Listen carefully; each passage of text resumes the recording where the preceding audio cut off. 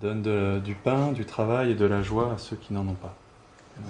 Partager sa vie avec des gens de la rue, c'est le pari de ces volontaires de la maison Lazare à Nantes. Guirec est le responsable de l'appartement des garçons. S'il doit faire respecter des règles, alcool et violence interdits, un repas en commun par semaine, l'enjeu de se vivre ensemble est ailleurs. Ici, c'est notre lieu de vie, donc on ouvre notre, notre intimité, notre, notre vie quotidienne.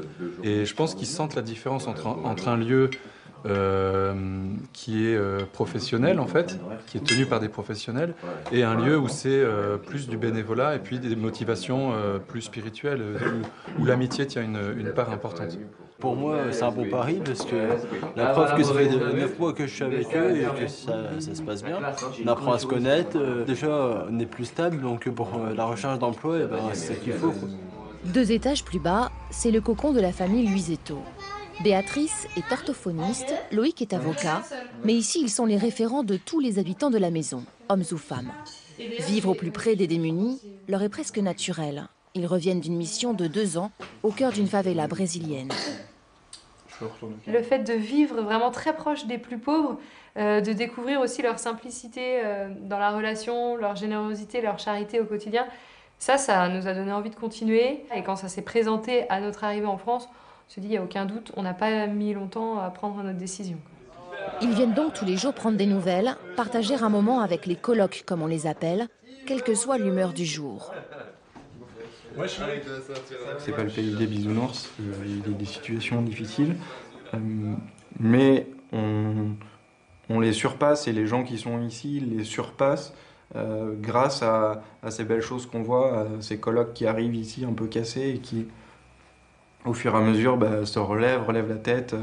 Relever la tête, c'est ce qui permet aujourd'hui à Ghislaine de sourire. Cette chef d'entreprise a tout perdu suite à un divorce douloureux. Cette maison lui a évité la rue de justesse.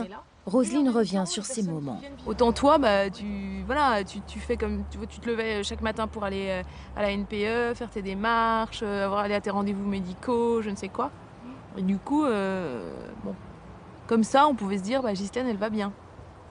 Et al- alors qu'il y a intérieurement quelque chose vraiment qu'on ne peut pas euh, partager, je pense, mais c'est une réelle souffrance.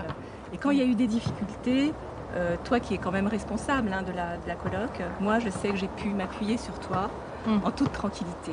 Donc, Et ainsi voler de ses propres ailes, comme Yves, qui a 29 ans, vient de tourner le dos à sa vie de délinquant. Arriver dans une maison pareille, c'est c'est formidable. Quoi. Tout le monde m'a aidé déjà quand je suis arrivé. Tout le monde m'a aidé. Tout le monde a été super gentil. Puis bien sûr, le fait que le Seigneur est là au-dessus de nous, ça a tout changé. Quoi.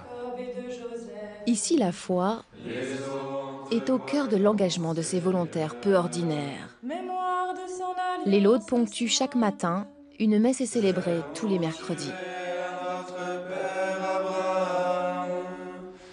Le Christ porte le projet, il est présent au milieu de nous. On a cette chance de, de pouvoir avoir une chapelle avec, le, avec la présence réelle. Euh, c'est voilà, source d'énormément de grâce pour la maison. Et il leur en faudra, d'ici mars, ils devront trouver une autre maison pour continuer à prouver à tous que se vivre ensemble est possible.